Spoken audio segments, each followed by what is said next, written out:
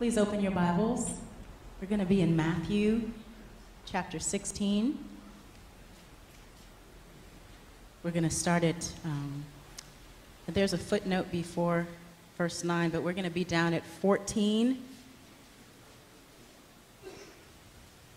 Mark chapter 16, starting at verse 14.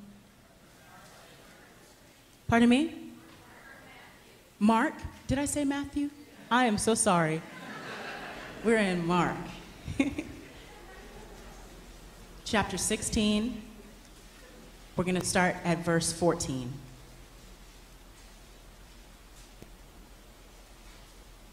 It says, Later Jesus appeared to the eleven as they were eating. He rebuked them for their lack of faith and their stubborn refusal to believe those who had seen him after he had risen. He said to them, Go into all the world and preach the gospel to all creation.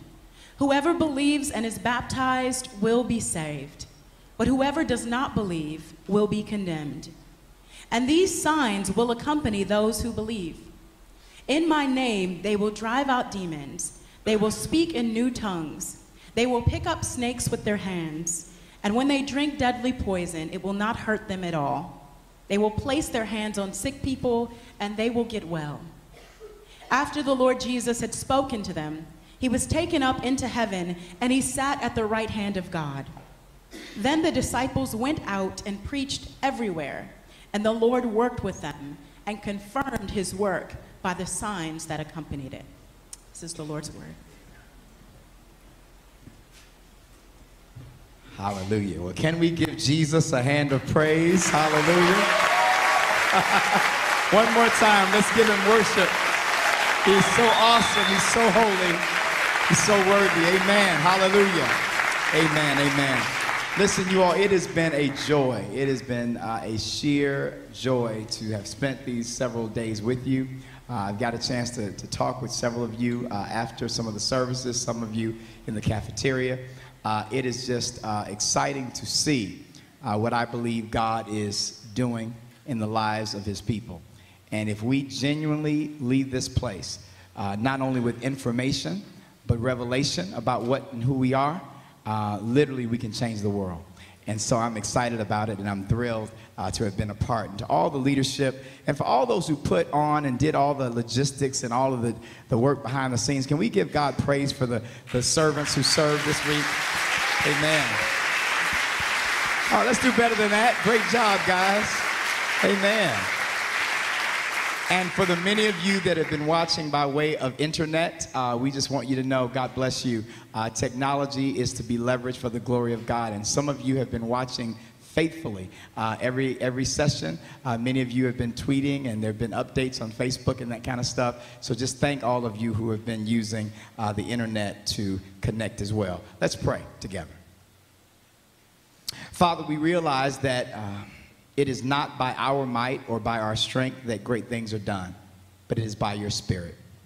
We pray now, God, that we would gain uh, in this time around your word a revelation of the mission of the church. Father, we've uh, had a time to look at really what the church is and what it's not, to understand, Lord, that we indeed have been called to be salt and light in a world that needs it so desperately. And then, Lord God, to be reminded that uh, the attitude that we need to have as your bride is one of submission. That when you speak, we say yes.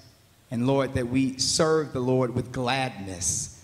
That that submission is not obligatory, but it is with excitement and with joy. And then, Father, we thank you uh, that you have reminded us so much that, God, we must be willing to say that it's not about the I, but the we. That we are the body and that we literally need each other to survive. If one hurts, we all hurt. And if one is blessed and one moves into their place, all of us are made better. Father, would you help us to not let last night be just one moment, but would you allow the, the work of your Spirit to continue in our hearts as we now lay hold of that calling? And now, today, would you realize, uh, uh, help us realize, God, the power of the church? And let us realize the anointing that comes with our movement. We give you glory in advance for what you will say. And it's in the name that is above every name that we pray again. In Jesus' name, amen. I want you to turn to the person sitting next to you for one more time and help me announce the subject of our final session today, if you don't mind. Turn to your neighbor and say, Neighbor, neighbor. We, are on, we are on a mission. A mission possible. All right, now turn to the person on the other side and say, Hey, you. Hey, Did you know, Did you know that you are on a mission possible? Amen. Many of you all may have heard the term mission impossible. Well, we want to talk today about mission possible. Mission statements are very important. As a matter of fact, uh, we started our church uh, now about 10 years ago. And I remember going to Detroit, Michigan, uh, my wife and my daughter and I, and, and not knowing one soul, not one person, and uh, gathering a group of individuals that we met over the uh, first few weeks and getting a core group together uh, that sat in a living room and began to dream about what a local church could look like. What would God do in our community of faith?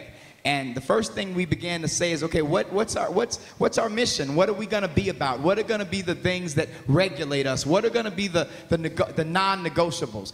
In a sense, mission statements give purpose, mission statements give direction.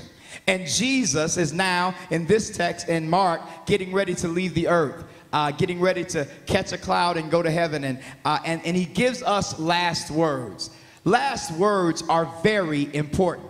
Uh, if you were, uh, God forbid, uh, uh, in an accident and the ceiling fell down on all of us, and you were given an opportunity to say one last word to your loved ones back home somewhere, you would be very thoughtful about what you'd say. You wouldn't be like, close the refrigerator door. I mean, you know, I mean, you know, you wouldn't you wouldn't say something crazy because last words would be you would want to be remembered for the last thing that you said. You'd say, you know, tell my folks I love them. I mean, you'd be very intentional about the last words.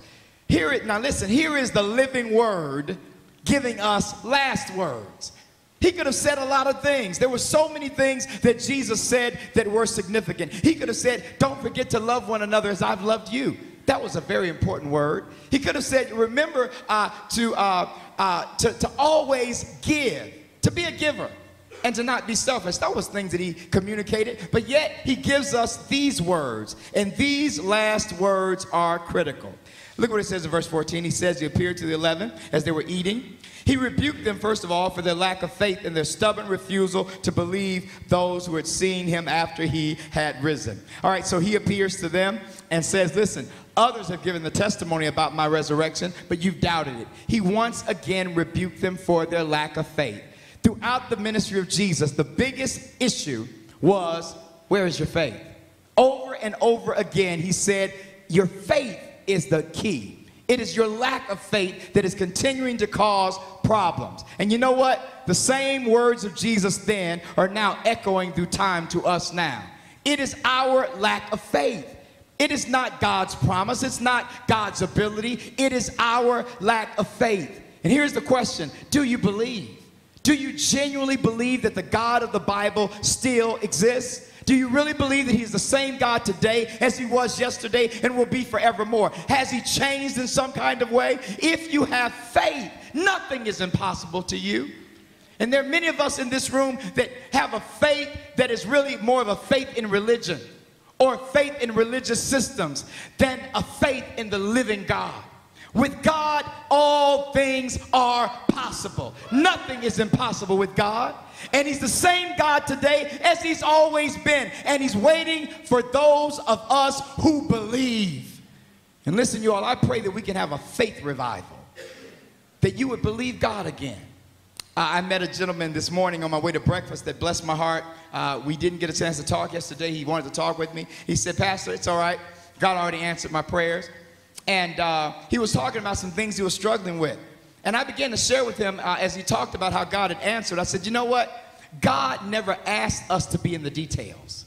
He never asked for us to figure out the logistics. And the majority of us that are crippled right now by fear, it's because you're trying to figure out how you're going to do ministry. Can I tell you something? That's not your business. It is not your business to figure out how. It is your business to say yes. As you say yes, he figures out the details. Amen. Some of us are crippled by the paralysis of analysis. You think so much, you've thought yourself out of activity. Do you know how many, you know how many meetings you have? You have a meeting to prepare for the meeting. And then at the meeting that you prepared for, you then realize that there will be eight subsequent meetings to now give feedback to that meeting. And then after those eight meetings, then you finally get to the main meeting. And at the end of those meetings, nothing is still done. It would be amazing if we could actually, after the first meeting, just do something. Amen. Enough talking, let's start doing. Tell the person next to you, enough talking, let's start doing. Amen, amen, amen.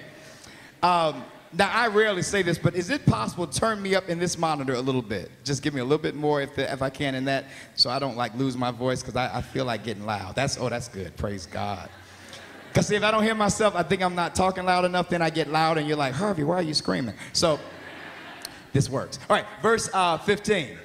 So this is what Jesus' last words are to them. He said unto them, go. Let's stop right there because we got a lot of deep people that, that want to, uh, and listen, I love, I, am in school again and I'm, I'm taking some coursework, I'm getting another degree, and um, uh, I love the Greek, I love the Hebrew, and so for some people, they try to uh, do a, a verbal, uh, a, a, word analysis of the word go. Well, what does go mean in the, in the Greek? Uh, what was the contextual context of the word go? Go meant go. In, in, in the Greek, it meant go. In the Aramaic, it meant go. Go in every language means go. And can I tell you something about going? When you go, you go. And you don't need a whole lot of teaching on going. Remember when you had to learn how to go to the bathroom? You had to learn how to control how you go, but you learned to go because whatever was in you came out of you. And for some of y'all, you just went wherever. Imagine if the church would grasp the revelation of the go.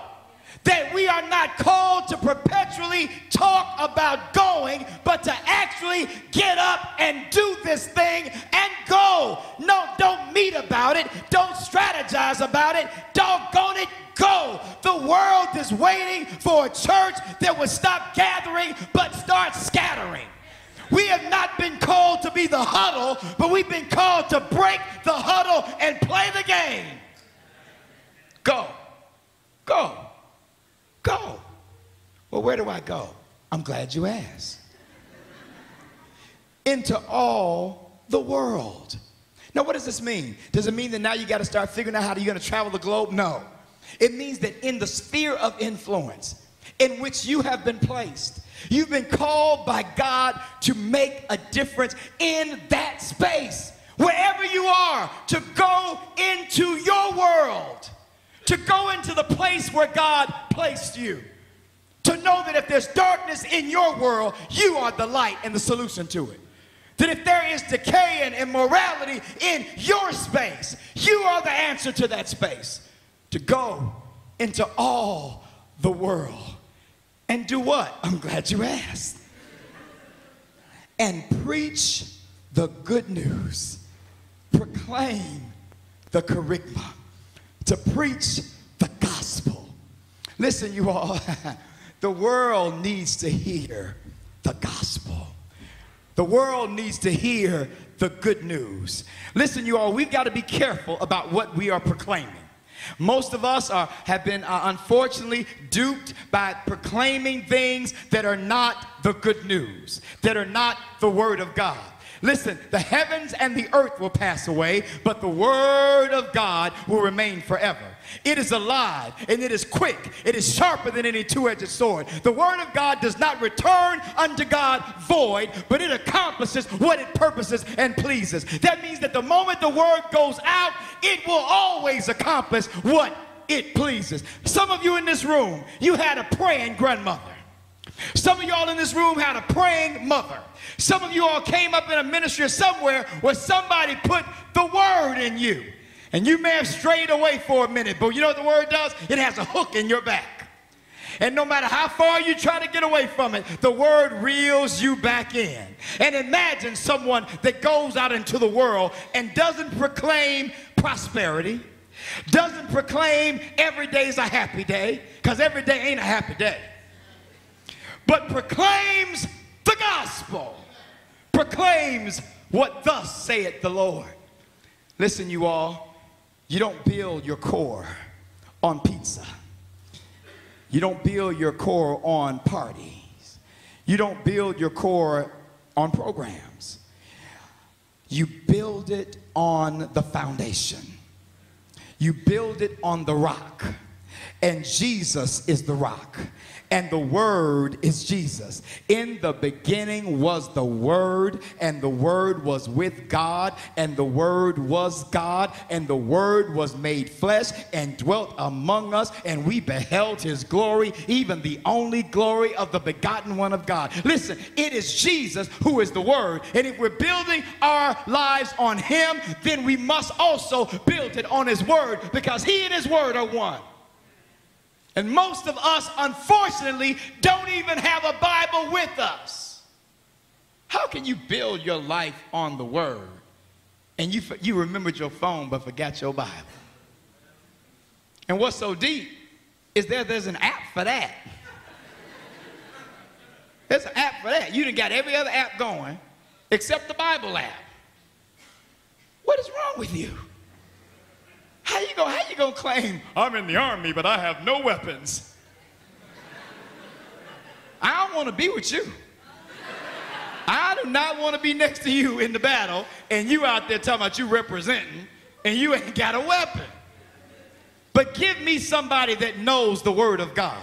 Give me somebody that has the sword of the Spirit, that no matter what comes their way, they've got a word for it. That means that when the enemy comes in like a flood, they said the Lord will raise up a standard against them. When depression comes, oh, I know one thing, he'll never leave me nor forsake me. When they don't have anything, and my God shall supply all my need according to his riches and glory. When your mama and daddy start tripping, your mother and father will forsake you, but I.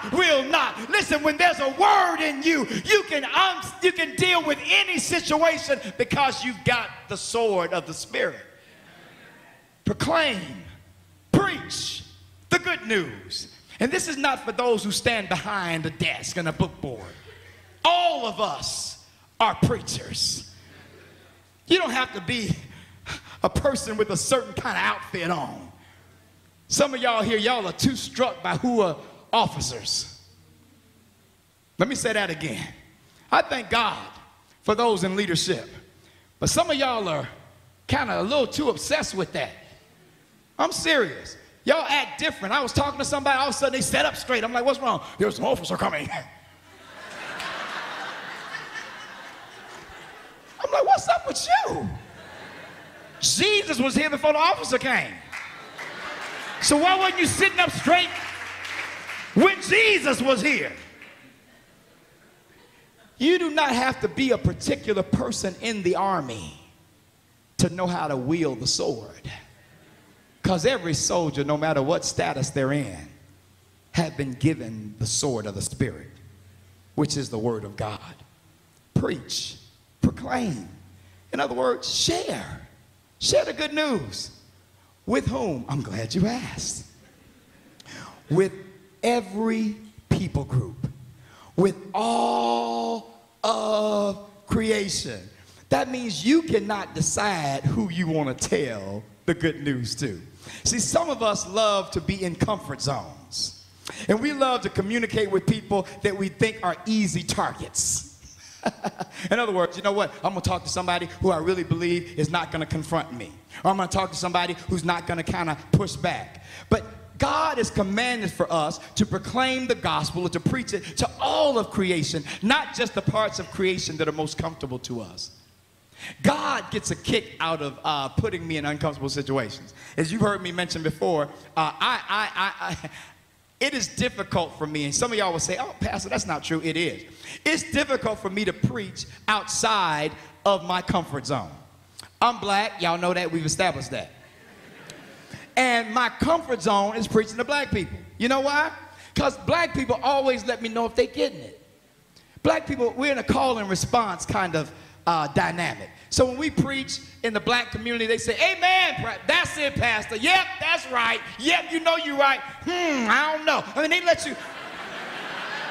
I mean, for real, they just let you know. So if you on target, they let you know. If you off target, they let you know. White folk, well, I don't know what you know. You just... And every now and then there's the, mm. And so I don't know if I'm making sense. I don't know if I'm connected. I don't know. And so I, I get in these environments and God says, now preach. And I'm like, but God, I'm not comfortable. He says, I did not call you to comfort. I called you to go to every place that I've commanded you. And regardless of the environment and regardless of your comfort level, preach what thus saith the Lord. And what is amazing to me, it is in the places where I'm most weak that his strength is most perfect. And that is what God calls us to, not to comfort, but to places of obedience. Some of y'all white people are scared to go into black communities and be yourself. Stop trying to relate and be down. They know that ain't you. Hey, what up, homie? What up, bro?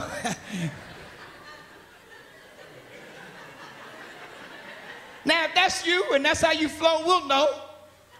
But don't try to relate. Be yourself. Amen. And if you black, stop trying to be something else. Hi, can I, I have some sushi? you know you want some ribs and some. you want some greens and some, you know, cornbread, you know. That's right. Don't be trying to talk about some sushi. You'd be hungry as a dog. You'd get through.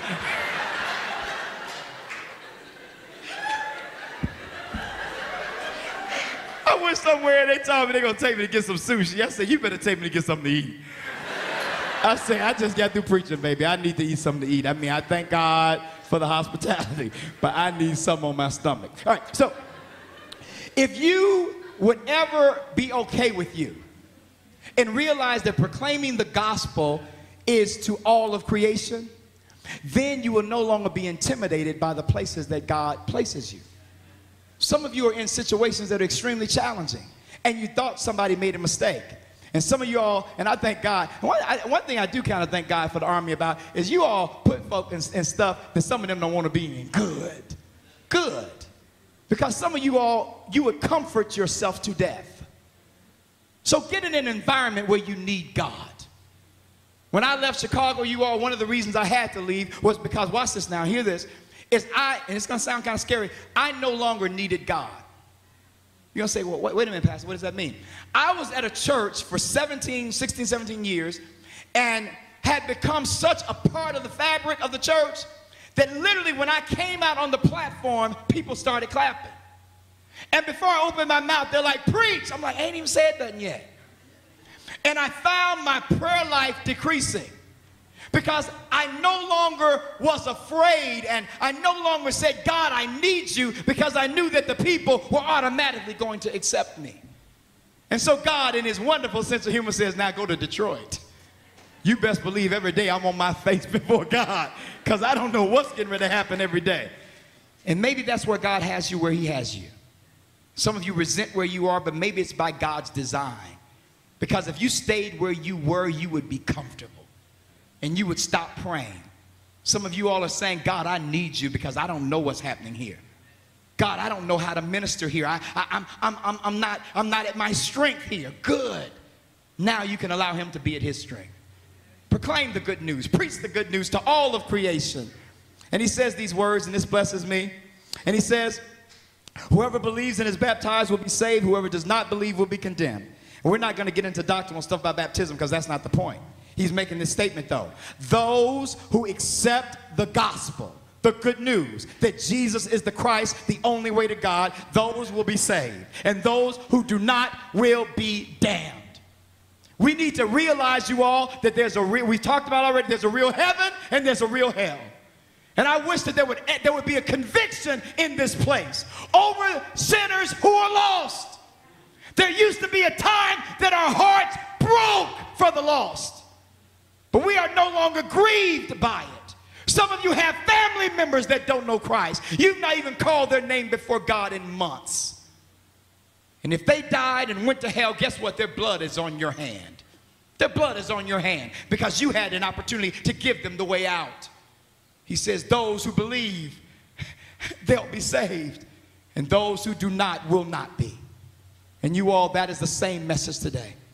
That if we do not let this dying world know that there is a Jesus who loves them, they will be condemned. They will end up being in eternity without God because we refuse to be the instrument of God. We must tell the story. And the gospel is in your mouth. God, in his infinite what power, could have decided to write the gospel on the sun in every language and every dialect.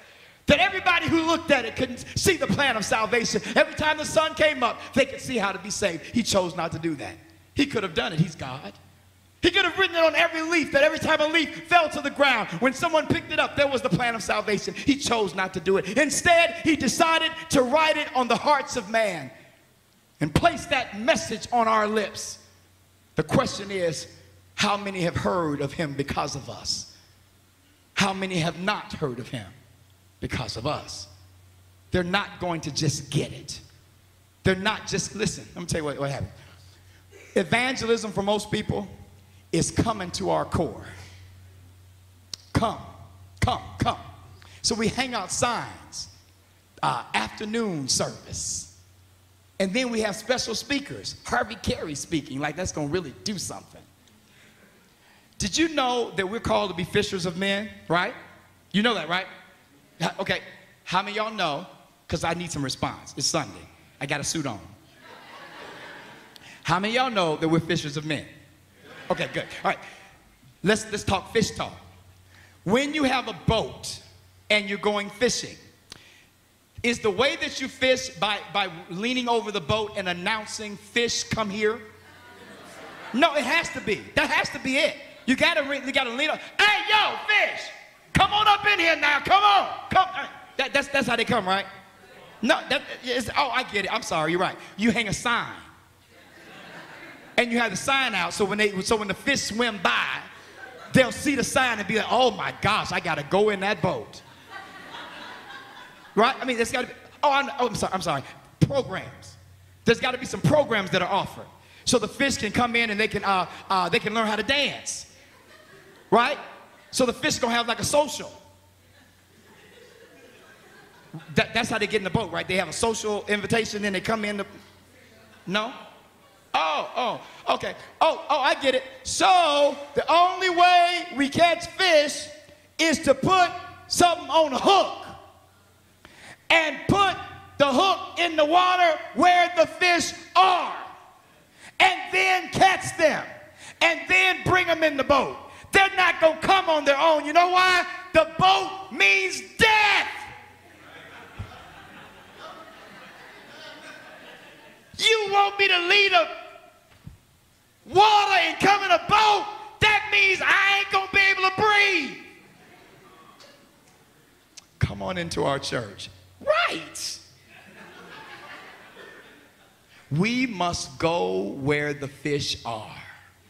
And we must compel them with the only hook we've got, which is the living, powerful Word of God. And it is able to cut, it is able to discern the very thoughts of man. The Word of God can go to the heart of the soul of man. It is the Word that this world needs, not more programs, not more socials. It is the living, immutable, anointed Word of the living, holy God that this godless world needs. And we must take it to the world. Proclaim the good news to all creation, and when they hear it, they'll be saved, and those who do not will be condemned. And let me spend my next 16 minutes and 15 seconds on these verses. And this is going to bless me. I love this. and it says, And these signs will follow those who believe. Now, I'm not, I'm, I'm, not about to preach. I don't want anybody to start getting nervous thinking about the, I'm about to start preaching some weird stuff. because I'm not. And you all know me well enough now to know I, I just, as a matter of fact, my church will hear me often say, I think weird is a sin. I think that weird Christians are sinful because Jesus was not weird. The, the, the, I meet a lot of spiritual people that are very weird. You know what I mean? Have you met, have you met the weird Christians? They, I mean, in other words, they're so spiritual that they're just strange. They can't even say a, a, a sentence. Oh, praise God. How are you doing? How you doing? Praise the Lord. Hallelujah. Thank you, Jesus. How you doing? Praise God. Amen. Thank you, Jesus. Amen. Hallelujah. What? You know, I mean, what, what is that? Or, or people that just shout unnecessarily. Hey, hey, yeah, yeah, yeah. Ah! ah, yeah, yeah, ah, ah. Okay, so why don't I see you do that in, in the store? I don't never see nobody in Jewel or, Dom, or Dominick. Hey, I, I, I, I just don't see that. I don't see somebody in, in, in the drive-through talking about, mm, ha, oh, oh, yeah, yeah, yeah, yeah, yeah, yeah. I'd like a number one. Mm, yeah, yeah.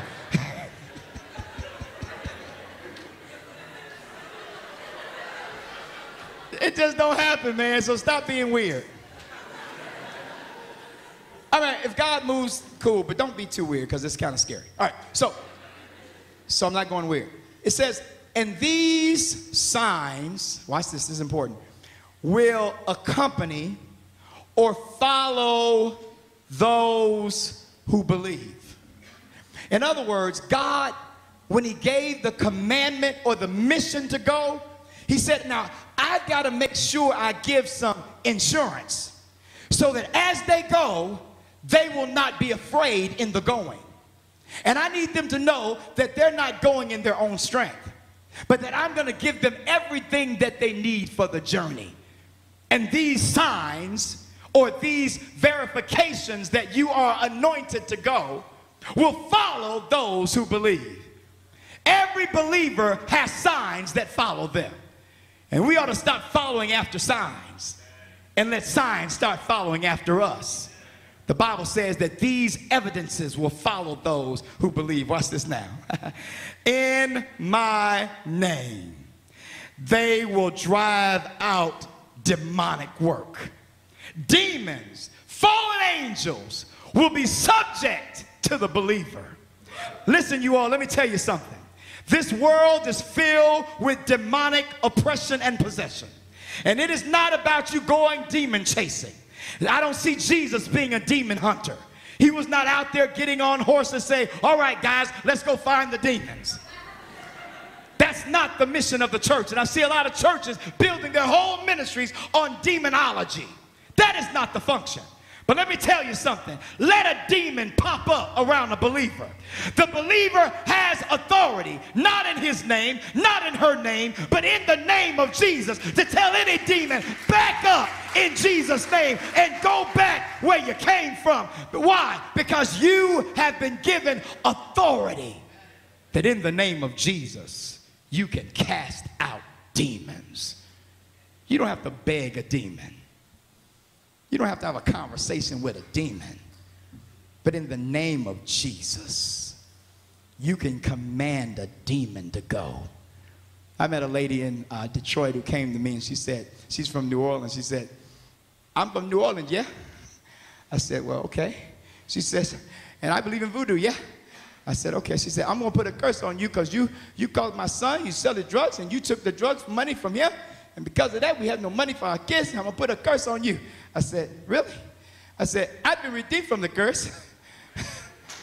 the curse is every man that hung on the tree. Yeah?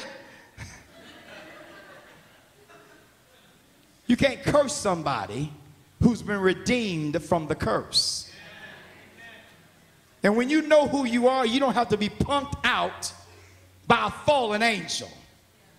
Jesus is Lord. The devil is not like on equal with Jesus. Like we got Jesus in one corner and the devil in no ain't no devil in the other corner. He is a fallen angel. And you have Jesus as your Lord, and you are co heirs with Him, seated in heavenly places, far above, with reigning with Christ. How dare a demon talk about it's got power over you? So stop talking to demons and know that in Jesus' name you have authority to cast them out. I dare you to go in your neighborhood and have prayer walks. Stop, stop having meetings and start walking and start binding the enemy and start claiming territory. You're in the army, you know about scouting, don't you? Don't you know about looking at the territory and figuring out logistics? Why don't you get out the building and stop looking at census maps and start mapping in the spirit? Ask God to show you where the spot is. God will reveal to you the spot.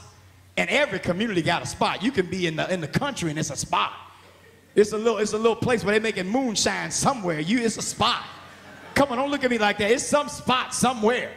And the Spirit will reveal to you the spot. And I dare you to start praying to Jesus and praying that those demonic forces are cast down by his power. He says, In my name, you will have the power to cast out devils. Does anybody believe that? And not only that, not only that, you all look what he says next. I love this. you cast out devils in my name, and you will speak in new tongues. Now, watch this. This is where people get confused.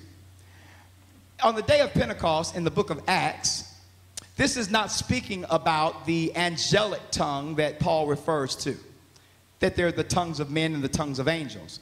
And many people that have the gift of tongues currently are speaking about the tongues of angels an unknown tongue. This is not talking about that. He's saying, I will give you the ability to communicate outside of your intellectual context. I'll give you the ability to talk to people that you normally could not talk to because I will give you the ability to speak with a new tongue. I just got back from Brazil. They speak Portuguese. And as I preach the gospel, Portuguese people got it. You know why? Because God gives you the ability to communicate outside of your intellectual context. So you ain't got to try to be black to talk to black people. Be white. But know that He can give you the ability to speak in such a way that those who you're called to can understand it. Are you following this? You'll be able to communicate outside of what you've been taught and, and what you've learned academically. You have the ability to actually communicate in new ways.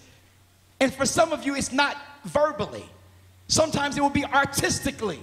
God will give you the ability to communicate in new and innovative ways, even through technology. That's a tongue, it is a communication vehicle.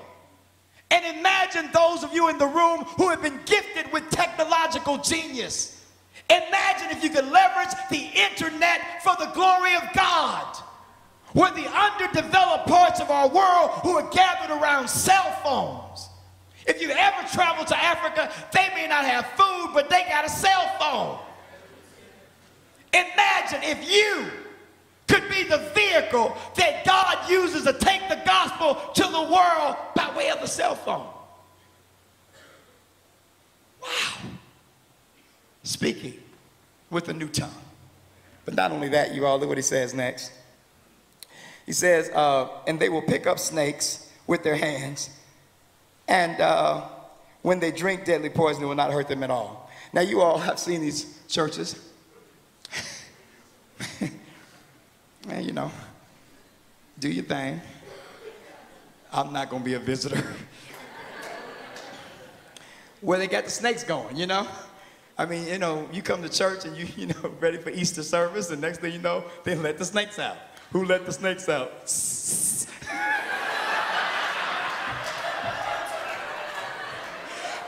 Joke. That was good. Like, who let the dogs out? Like, who let the snakes? Okay, right, right. All right, so they take these snakes out and then, you know, they let these snakes bite them. And if they don't die, then they've got faith. And if they do die, oh, no faith. All right, so that's not what this meant. When the commission to go into all the world was given, that meant that they were going to be going on the dusty roads of that terrain in that time. And there would be snakes and poisonous vipers that would come out. And by just the nature of them traveling, they would get bitten. And he said, If you are out doing my work and you're out doing what I've called you to do, you will be bitten by poisonous snakes and it will not kill you. And you will go in places where people will try to poison you and it will not work. This happened to Paul as he was on an island and they were watching, waiting for him to die, and he did not die. Why? Because when you're on mission, the anointing will cause you to not die before time.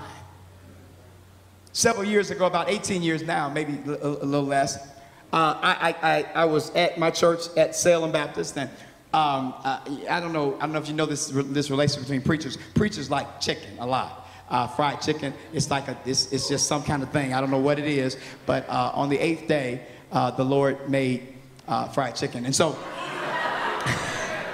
I don't eat as much now because my wife is, is really like super duper health conscious. So I, I eat more baked chicken and broiled chicken than I do fried chicken. But every now and then when she ain't around, like, like around now, uh, when I leave up out of here, I'm gonna find me some fried chicken. Right, so, um,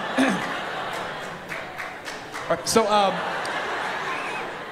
so, uh, uh, so uh, after service one Saturday night, I decided to go with my family uh, out, and uh, we left uh, Saturday night and went downtown. At that time, there was a place called GameWorks downtown, and we went to GameWorks. And coming back from GameWorks, it's around 11:30 at night. I decided to stop by a place and get some chicken, and so I got a bucket of chicken. And I, I, I, love my family. I shared chicken with my family. I gave them each a piece of chicken. And, and I proceeded to eat the rest of the bucket of chicken. And so as I completed the bucket of chicken, knowing that I have a, uh, an early morning service at Salem that morning, we have a, uh, a, a 7.30 service, then we had a 10 o'clock service, and we had a, a 12 uh, noon service that was live on television. I, um, I, I, knew in the morning, uh, when I woke, my stomach, uh, yeah, so you know, the bathroom and I were, were getting very, very comfortably acquainted for quite a while. And so I went to the first service and got through the first service and it went, you know, okay. Uh, and of course, I visited the bathroom very quickly after that. And then 10 o'clock, same thing happened. And so God, in his uh, unbelievable sense of humor, waits until the 12 o'clock service, which is live on television. live on television. And so I'm up preaching, and uh, now I don't know if this has ever happened to you. Because uh, there's a time where you, we talk about the first word was go. I don't know if you've ever been a time when you have to go. How, I know, okay, I know this is, okay. How many y'all have ever been in a time where you had to go? Of course you had, don't lie, do not. All right, and the rest of y'all are liars. Yeah, you come on. All right, so I am in the middle of preaching and I got to go. I mean, I'm in the middle. Of, listen, you know how I'm. Pre- you see how I preach. So I'm preaching and I'm realizing live on television, I gotta go. So, so in my mind, I'm thinking two things. Okay, either I'm going to let this happen here. come on, I mean, honestly, come on. I'm live on television, man. Come on, just for real. And if I do that, uh, the choir behind me is going to need therapy.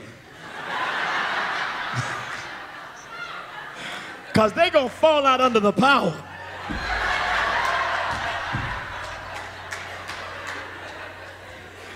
And I knew I could not do that, man. I had no other suit. I'm like, I can't. I, okay. So I, I'm in the middle of preaching, and I said, I said, you know what? This is not about me.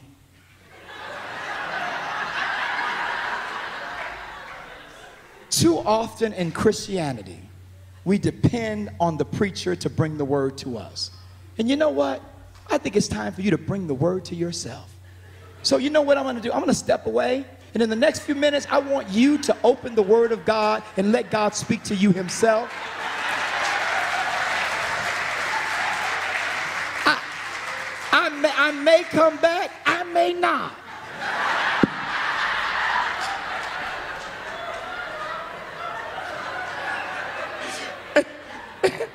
And I ran to the bathroom. And man, I did I never came back. Over the next several weeks, you all, um, I found that um, I was getting ill. I mean, I, I, just was, this was not right. This was longer than normal. I went to the doctor, said, you know what, you probably got a stomach flu, probably just ate something that didn't, didn't, didn't agree with you, go back home.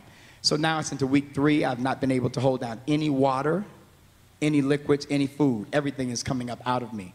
And so I went back again and they said, well, we need to take you in. And they went ahead and did that. And finally they said, well, you know, you have a bacterial infection of some kind and uh, we've got to uh, perform surgery.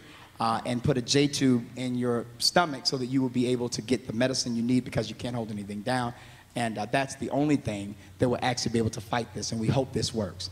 I said, You hope this works? They said, Yeah, we hope, you know. And so they went ahead and they did that. And after it was over, they said, um, uh, For whatever reason, the medicine's not working. And I said, So what does that mean? They said, There's nothing else we can do. They said that we need to send you home on hospice. At that time, I'm down to 78 pounds. I have not eaten or drink. I have not eaten or drinking anything now. At that point, in about maybe two and a half months, and so they left me uh, at home with a hospital bed and with a, a feeding machine uh, to feed me until I died. Uh, pastor Meeks, who was uh, my pastor, came and uh, was meeting with my wife uh, after this has gone on for several more months, maybe about another four or five months passed. And he had actually rented the University of Illinois Chicago Pavilion downtown had rented it for four weekends for my funeral because he knew that it was going to be at least within that month that I would die.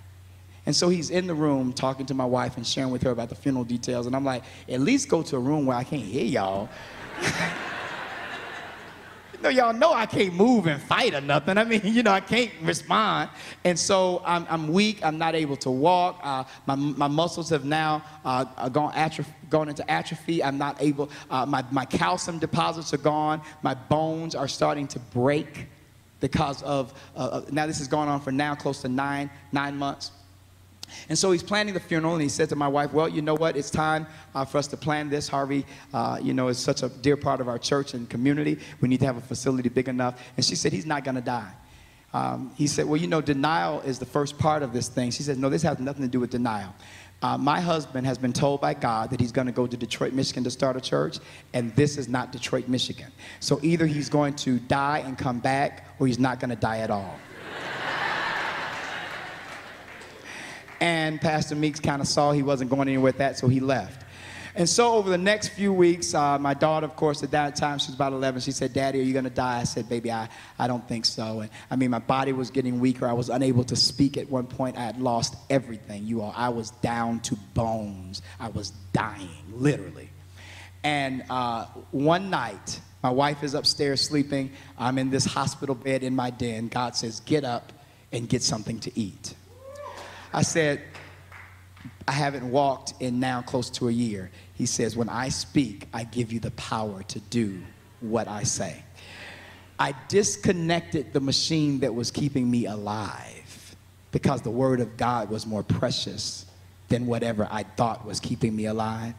And I then made my way, barely, it took me about an hour, it felt like, to get to the kitchen, which was right here.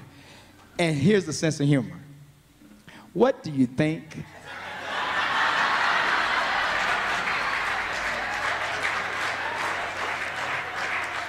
was in the refrigerator. The only thing in the refrigerator. It wasn't, it was not fried chicken. It was actually chicken noodle soup. But I removed the pieces of chicken. Um, and I ate this soup and I ate again and I ate again and I've been continuing to eat and I'm in the American Journal of Medicine as an unexplained phenomenon. Because when you are on mission from God, not even sickness or disease can stop you. So I do not know what the devil has told you. I'm not sure what diagnosis has been given to you, but I came to tell you that you shall live and not die and declare the wondrous works of the Lord. The business is not over yet, and you've got too much to do. Death cannot stand in the way. And he says, No deadly thing will hurt you. And so, you all, I don't run after healing, healing runs after me. Did you hear that? I don't run after healing. Healing just follows me because I need it to get the mission done. He says, a snake won't hurt you. Poison won't hurt you. You worried about what people are going to do to you? I've had so many guns pulled out on me. I've got, currently, I think I have eight death threats, uh, which is really low. Uh, normally, I'm using about 15 people trying to kill me. It's only about eight now, and that's real good. And I love it. You know why? Because no weapon formed against me shall prosper. See, listen, y'all, whatever happened to the real Christians that have real enemies? I'm not talking about like people in the court that don't like you. You know what I'm saying? That's kind of stuff that you're talking about, like, you know what? No weapon, looking at people in the court, formed against me shall prosper.